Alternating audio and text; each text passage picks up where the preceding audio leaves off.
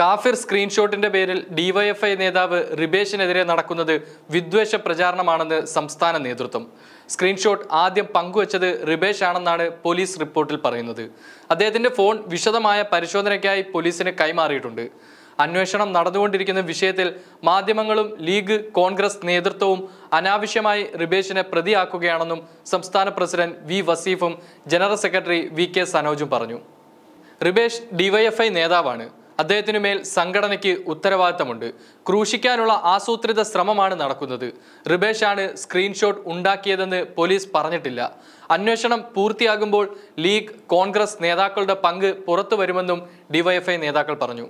അതേസമയം കാഫിർ പോസ്റ്റ് വിവാദത്തിൽ സി പി എമ്മിനെതിരെ പ്രതിഷേധം ശക്തമാക്കാൻ തന്നെ തയ്യാറെടുക്കുകയാണ് യു നാളെ വടകര എസ് ഓഫീസിലേക്ക് U D F R M P സംയുക്ത പ്രതിഷേധ മാർച്ച് സംഘടിപ്പിക്കും. കാഫിർ സ്ക്രീൻഷോട്ട് ആദ്യം പോസ്റ്റ് ചെയ്ത ഡിവൈഎഫ്ഐ നേതാവ് റിബേഷിനെ അറസ്റ്റ് ചെയ്യണമെന്നാവശ്യപ്പെട്ട് യു ഡി എഫ് വില്യാപ്പള്ളിയിൽ പ്രതിഷേധ പരിപാടി നടത്തി. ഡിവൈഎഫ്ഐയുടെ വിശദീകരണ യോഗം ഇന്ന് വടകരയിൽ നടക്കും.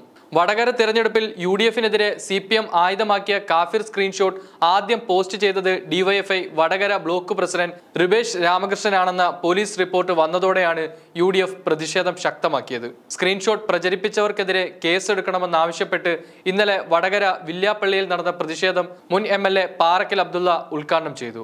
നാളെ വടകര എസ് പി ഓഫീസിലേക്ക് നടക്കുന്ന U D F R M P സംയുക്ത മാർച്ച് കെ മുരളീധരൻ ഉദ്ഘാടനം ചെയ്യും. റിബേഷ് ഉൾപ്പെടെ സ്ക്രീൻഷോട്ട് പ്രചരിപ്പിച്ച സി പി എം നേതാക്കൾക്കെതിരെ കേസെടുക്കും വരെ പ്രതിഷേധം തുടരാനാണ് യു ഡി എഫ് തീരുമാനമെന്നാണ് നേതാക്കൾ അറിയിച്ചിരിക്കുന്നത്. സി പി എം ധ്രുവീകരണ അജണ്ടകളെ ചെറുക്കുക എന്ന തലക്കെട്ടിൽ സോളിഡാരിറ്റിയും നാളെ വടകരയിൽ പൊതുസമ്മേളനം സംഘടിപ്പിക്കുന്നുണ്ട്. അതേസമയം വടകരയിലെ കാഫിർ സ്ക്രീൻഷോട്ടിന് പിന്നിൽ യു ഡി എഫ് തന്നെയാണെന്ന് ആവർത്തിച്ച് പറയുകയാണ് സി പി എം സംസ്ഥാന സെക്രട്ടറി എം വി ഗോവിന്ദൻ. ഈ വിഷയത്തിൽ സി പി എമ്മിന് ഒറ്റ നിലപാടാണുള്ളത്.